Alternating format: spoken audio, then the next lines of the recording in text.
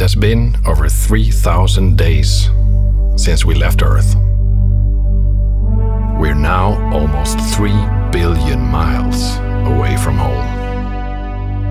Out here, where the sun is distant and faint, is a place no one has ever seen before.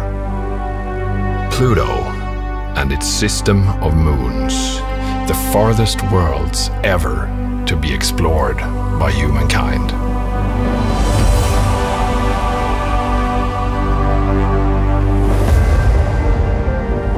Half a century ago, we began the exploration of all the planets, making ever more distant journeys.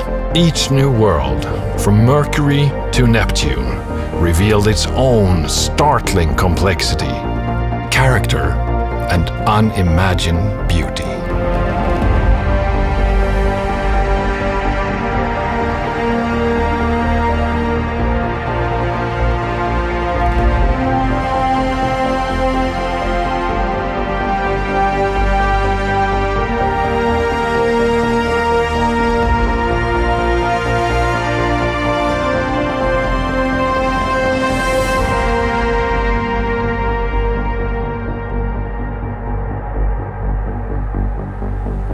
As we now approach the Pluto system, reaching farther again, this year we are about to complete the historic first era of planetary exploration.